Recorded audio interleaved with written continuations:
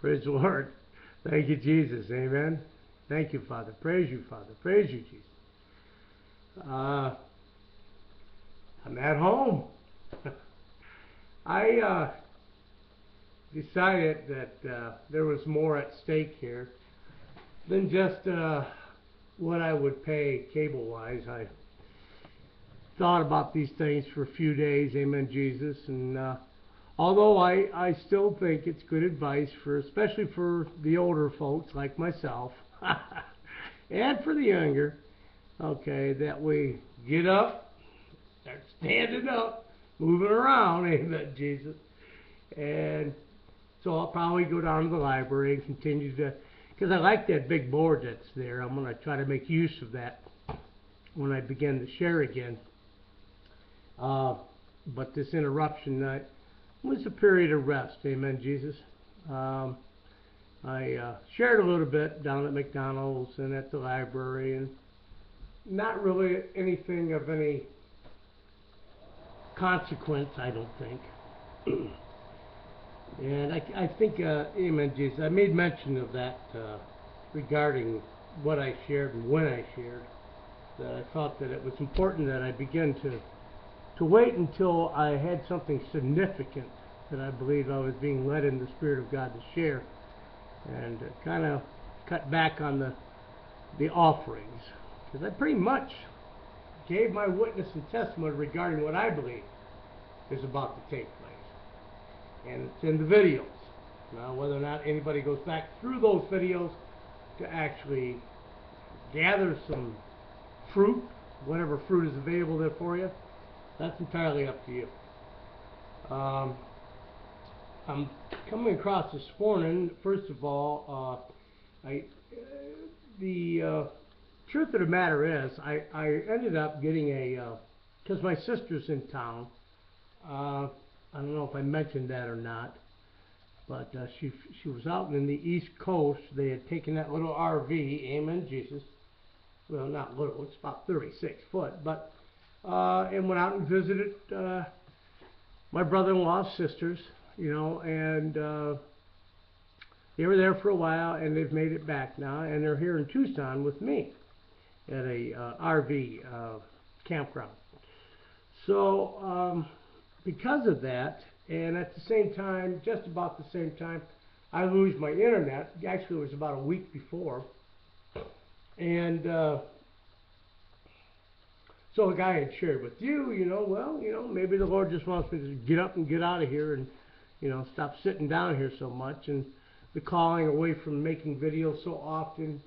And I was finding myself on the internet, I don't know, five, six, eight hours a day sometimes.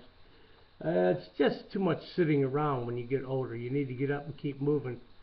But uh, anyway, the, what I was going to point out was uh, I went ahead because of my sister and and uh, bought a little $15 phone, okay, got some minutes on it so we could stay in contact. Uh, you know, she's older than I am, and her husband's, you know, like 76. So from time to time, you know, if they need some help or something, I'd be available to them. Well, that got me thinking, amen, Jesus, that, you know, many of you may or may not know that uh, I have what a Magic Jack system hooked up so that I can make calls and receive calls over the internet. Well, when I thought about that, it dawned on me, you see, the internet for me is, is really more than just the internet. It's, it's my telephone service. So when you think about that, uh, the, about everybody pays at least 40 or 45 dollars a month to have a phone. And then on top of that, you know, unless they have a bundled deal, they can pay upwards of a hundred dollars for having phone, internet, and uh, what's the other? A, oh, and television, right? Well, I don't have television, but I do have the internet, and with my Magic Jack, I have phone, but I don't. Uh, I don't pay uh, the exorbitant price that they have. I mean, I, I spend thirty dollars a year for the Magic Jack. That's it.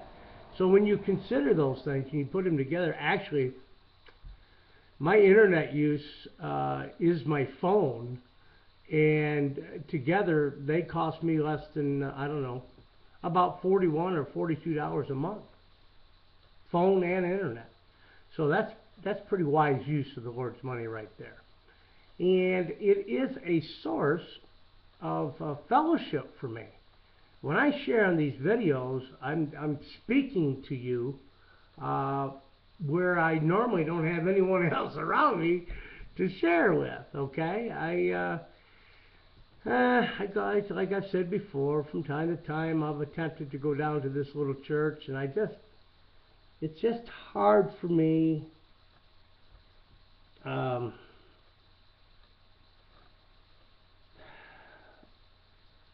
I, I don't know what to say. It's just hard for me to get established there. I, I'm not in agreement with the whole purpose and the point of them coming together on Sundays and, the fact that they do it on one day of the week that they've chosen. I mean, it's just it's all this religious pattern of establishing the doctrines and traditions of men that I just you know I just don't see it being led by the Spirit of God, and uh, so I, it's a mess. Nonetheless, Amen, Jesus. Uh, I do believe uh, that very soon now, very, very soon now, the Holy Spirit is going to move upon these households of faith. We're coming into that period of time now where I believe that individuals within their own fellowship and their own gathering are going to begin to rise up, being filled with the Holy Spirit, just as Stephen was, uttering, okay, giving utterance as the Son of Man returns in and among them through the spirit of prophecy, admonition, exhortation, and rebuke, which to me is that sign of Jonah, okay, that Jesus said would take place, just as well as the sign of Noah and Lot. Now, these there's this is a significant period of time we're coming into right now. I just had some dreams that uh, last night that uh, they're all urging that this tr- transformation, this this period of time of transition, we'll call it, of which uh, sets up the separation of the wheat from among the tares, they're going to be coming out of there one of two things, as I've shared before, is going to begin to take place. Either the bondwoman and her son, the false gospel, the gospel, the natural, the uh, uh, son of perdition, the unlit candles, the tares who have been in among, okay, either that gospel is going to get cast out, her and her son, the bondwoman, carnal mind, okay, or the wheat are going to come out of her.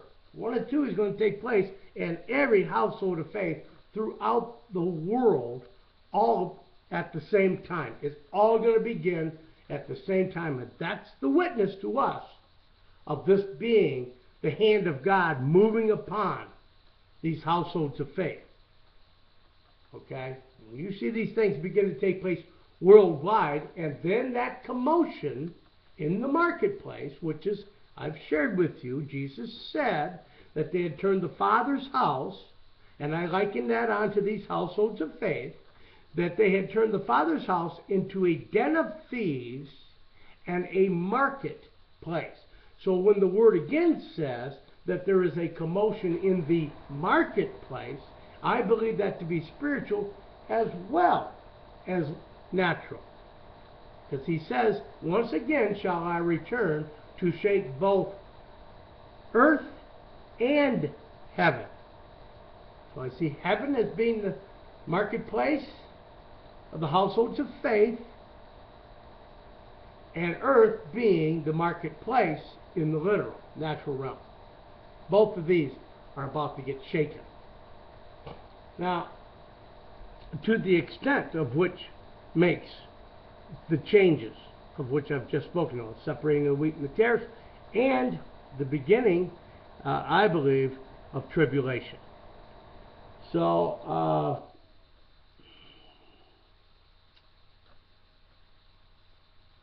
very soon now. Very, very soon now. Uh, I have, uh, I want to get started. Um, I mentioned the other day, so that you can start to see these parallels or the duality. Some of you do, some of you don't. Heaven and earth, the natural realm, the spiritual realm, the carnal mind, the spiritual mind, darkness and the light. Amen. these dualities, okay, of which exist. The old man and the young man, okay. Uh, the regenerated soul and the lighting of the candle within it, which is the spiritual man, and the natural man who's out, who's the outer court. He's the tabernacle. Okay? Anyway, in which we house the Holy Spirit of God. Okay? Ye are the temples, collectively and individually. But nonetheless, in these uh, in this work, in the work and will of the Father, as it begins to manifest itself. Uh, I mentioned a little bit about the persecution uh, regarding uh, religion worldwide as part of the perceived problem, which in many ways it is, because uh, uh, many of these households of faith, uh, the vast majority of the so-called Christian faith, okay, are no different than, than the Jewish faith was uh, at the Jewish household of faith was at the time of Jesus coming. There, it's hypocrisy. It's a religious spirit. And this is why a lot of people, uh, you know, they, they say these awful things about the Word of God because their, their spiritual eyes have not been opened. Okay?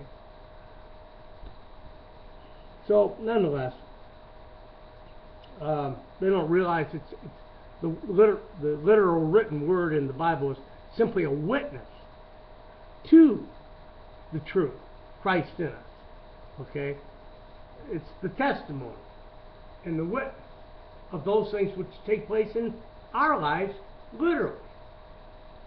I mean, if we didn't have it, we'd be being led by any wind of doctrine. Okay, go this way, go that way, this way. This is the foundation, the Word of God. So, it came through the oral tradition by the unctioning of the Holy Spirit, of which men recorded what was said and placed in the Bible. So I I don't like to go back into that too much more because I just I don't I don't uh, deal with those folks uh, that say those things about the Word of God. They, they're obviously uh, uh, uh, deceived. Okay? And there's great deception out here, and folks just, you know, everybody, and I've gone over this time and time again. You know, you know, nobody's deceived, but yet the Word of God says there's the deception. There should be a great deception. I mean, no one has fallen away from the faith Yet the Word of God tells us there will have been a great falling away.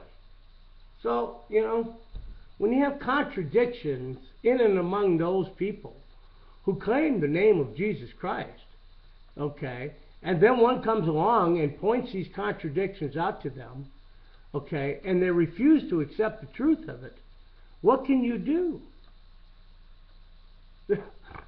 okay? All you can do is share what the Lord has given to you to share and hope and pray that they receive it and understand it and come out of where they're at and recognize that the finished work of faith needs to take place for all of us.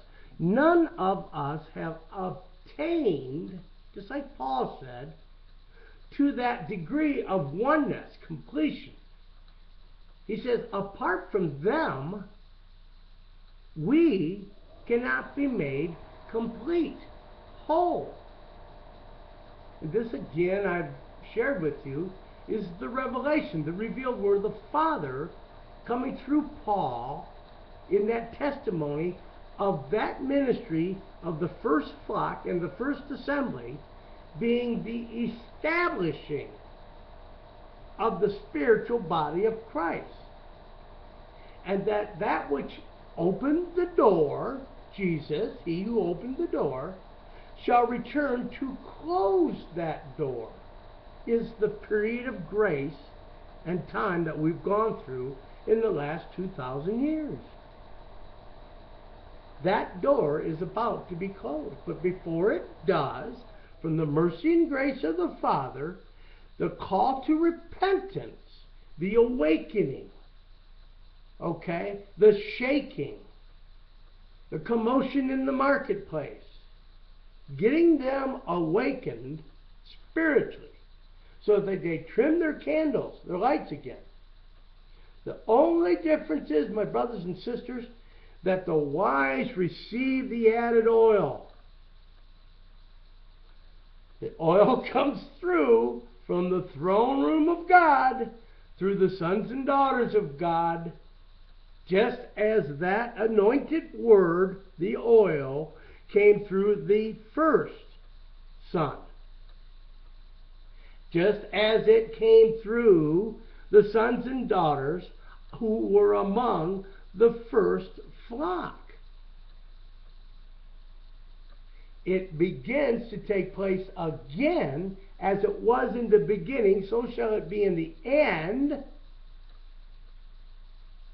Once again, to gather the wheat together, to place them in his barn. The anointed covering of the Holy Spirit, the oil, is that barn. It's that covering of which we enter into. It's the ark. Like the blood. It's the blood testimony. A blood testimony relates itself to being brothers and sisters, sons and daughters, to Jesus, the first son. That's why it's called the blood testimony. They're the family of God. Now, in that family, amen, Jesus, there are children and different measures of faith. All right? But my sheep shall hear my voice. And it's this voice which has been being given to you, shared with you, hopefully, and will begin to be spread throughout the entire earth, explaining to you exactly the very same things I've been sharing with you for the last year. They will begin to manifest themselves throughout the entire world in the voice of many waters. This is what's getting ready to take place.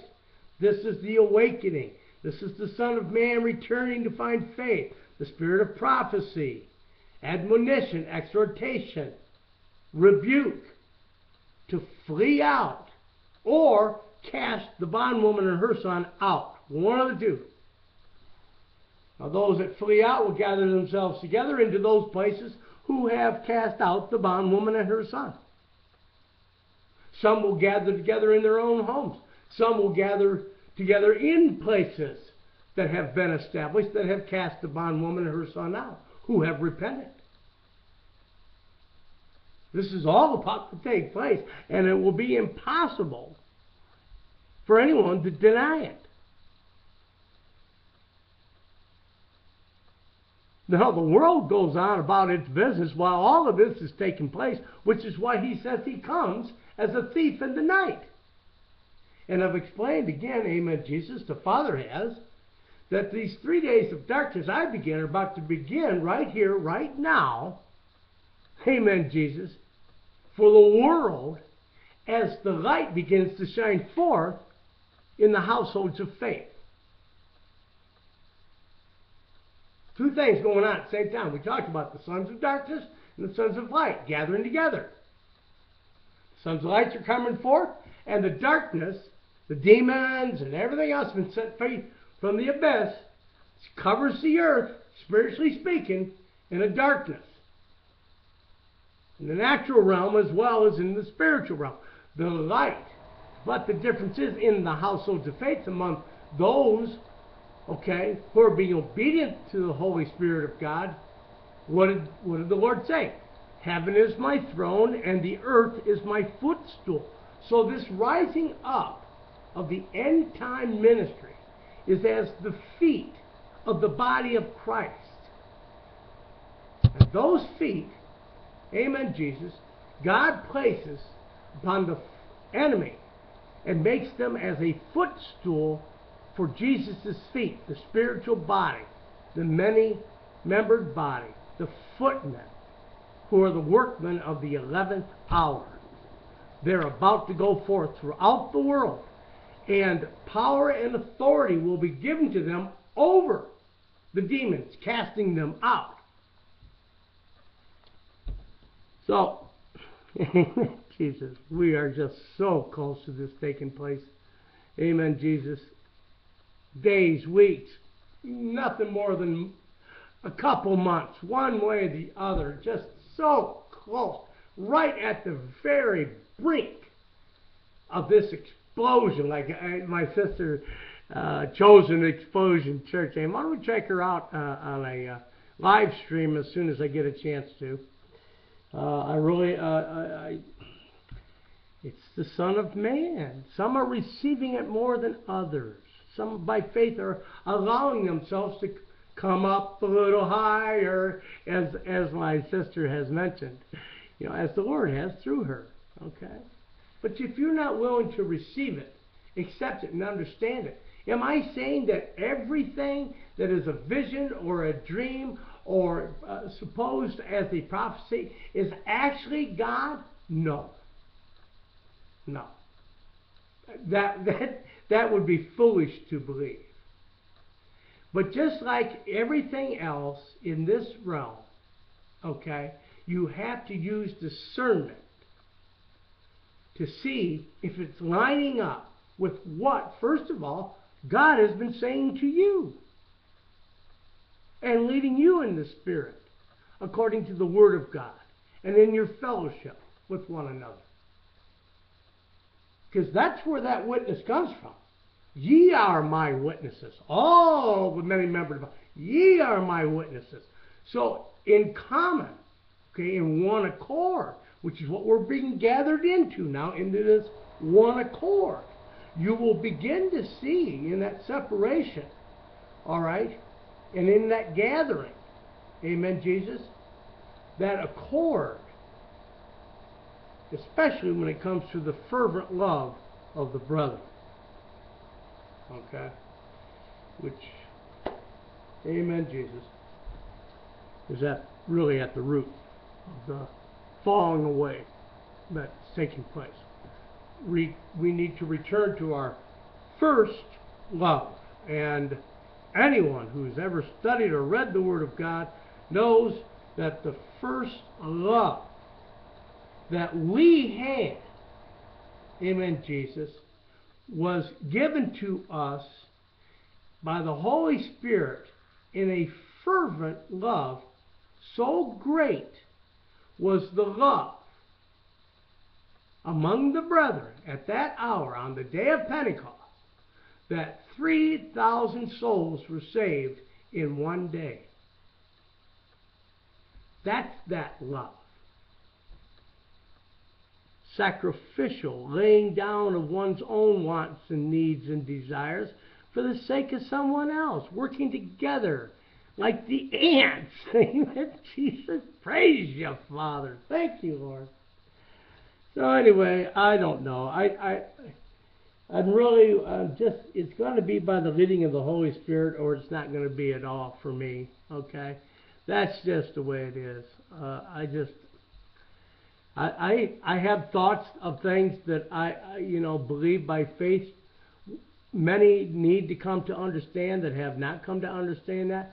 So I, I know there's a need for ministry in a lot of different aspects, and some might say levels of understanding. Okay, in order to bring this one accord in the unity and the love, fervent love of the brother, in order for that to take place, there are many different levels, many different ministries, uh, many different brothers and sisters are going to be used to reach out, to touch, to gather in the wheat, that, that they're able to communicate on the same level, okay, and, and gather one another together. So this is like a no holds barred deal going on right here. Okay.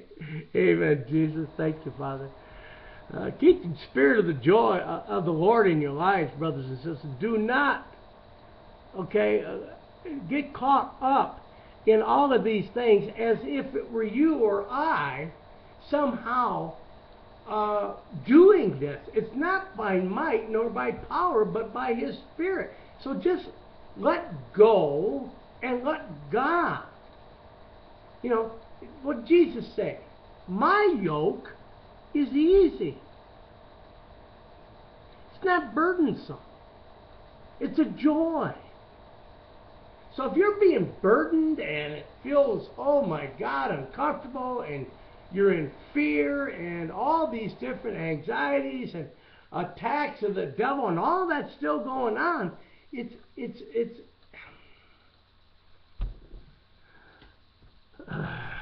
you're being tried and tested to see if you're going to, you know. The devil chooses to sift you like fine wheat. He's being allowed to do that. To bring forth the pure gold, the faith, your pure, the purifying the faith in you. And some fall away, unfortunately. Because that persecution and trials and fiery darts come after you and you end up turning away from God and the Word of God and away from fellowship and you know, just so it won't continue to be a burden to you. Well that's that's really not God, my brothers and sisters. We come into an understanding and we grow in wisdom. And that armor of which is placed upon us by the Holy Spirit is strengthened to the degree of which the death to self and the crucifying of the flesh nature and those things which by now through the chastisement of the Father, amen, for those who are have been around for a while, amen, Jesus, should be done. It should be done. It should be a done deal right now. Am I saying that we walk perfectly without falling short? No. It's just that any questions and any need for the devil to come in and do things is pretty much uh, eliminated. It, it, it gets to the point where it just doesn't make any sense because he'll make repeated attempts at a period of time to see if he can move you one way or the other, okay? And when he finds he can't, okay, he goes about to another to try to, like a roaring lion, you know. Uh, he leaves you alone. The Lord rebukes you, devil. Okay? Amen, Jesus. So, just continue to mature, okay, in that word, uh, uh, in your fellowship, in your love for one another. Uh, exhort, admonish, and rebuke. But do it in love. You know, I've shared that with you before. You know, when you know you're dealing with somebody who really hasn't been in the Word of God for very long, doesn't have a good solid foundation established, okay, then, uh, you know, correction, okay, admonition, exhort, you know, encourage, you know, try to do it uh, to the best of your ability and uh, with love, you know. But with the older and them who have been in the Word and who have taken positions that may even be heresies, well, then you just got to give it to them the way it is. Amen, Jesus. And say, listen, brothers and sisters, you know, that this is the way it is, blah, blah, blah, blah, blah, blah. And, uh, you know, God knows I love you, but I don't agree with you. And I believe you're in error. Simple, plain, done. Let it go. And uh, if they want to continue to argue about it, just don't answer them. Okay? You don't have to answer every time somebody makes a comment. Just the devil's seeing if he can stir up your flesh, okay, get you to rebel or come against that, you know, because he knows what he's doing to you by doing that. Because a day or two later, because you'll find yourself saying things that you wish you hadn't said, and then a day or two later, well, you're back to the Father asking him to forgive you for what you had said. But you grow, you mature, you learn, I mean, God loves us, and we're going to make mistakes. That's all part of this whole deal. Amen, Jesus. So anyway, I'm gonna uh, get out of here, and uh, the Lord bless you and keep you in Yeshua's name, uh, and uh, have a blessed day. Amen. Amen.